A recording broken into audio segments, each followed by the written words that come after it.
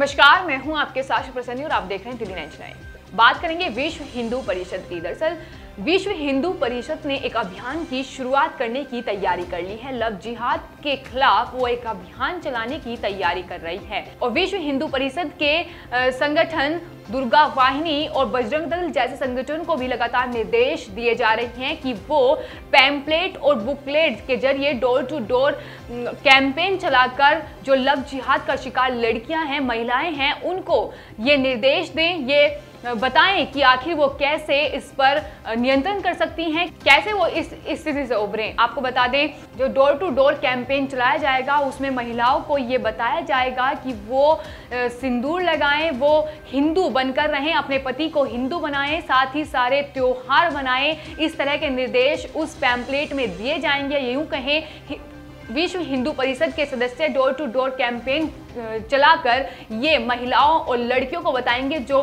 Love जिहाद की शिकार हो चुकी हैं। दरअसल विश्व हिंदू परिषद पश्चिम बंगाल में ये कैंपेन शुरू करने की तैयारी कर रहा है, क्योंकि पश्चिम बंगाल में ज़्यादातर महिलाएँ और लड़कियाँ लव जिहाद का शिकार हो चुकी हैं और जिसके ज़रिए वो इससे उभरने की कोशिश करेंगी। साथ ही विश्व हिंदू परिषद का ये भी कहना है कि वो जो लड़कियाँ या महिलाएँ लव जिहाद का शिकार हैं, वो उनके पास कंप्लेन दर्ज करा सकती हैं, साथ ही पुलिस के पास जा सकती हैं। साथ ही विश्व हिंदू परिषद के सदस्यों का ये भी कहना है कि वो क्या करें, क्या निर्देश जारी करें, इसके लिए स्पेशली हिंदू माता पिता से पूछा जाएगा और उसमें ये निर्देश जारी किए जाएँगे।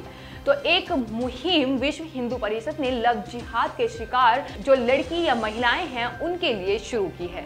और अधिक खबरों को जानने के लिए सब्सक्राइब करें दिल्ली नाइट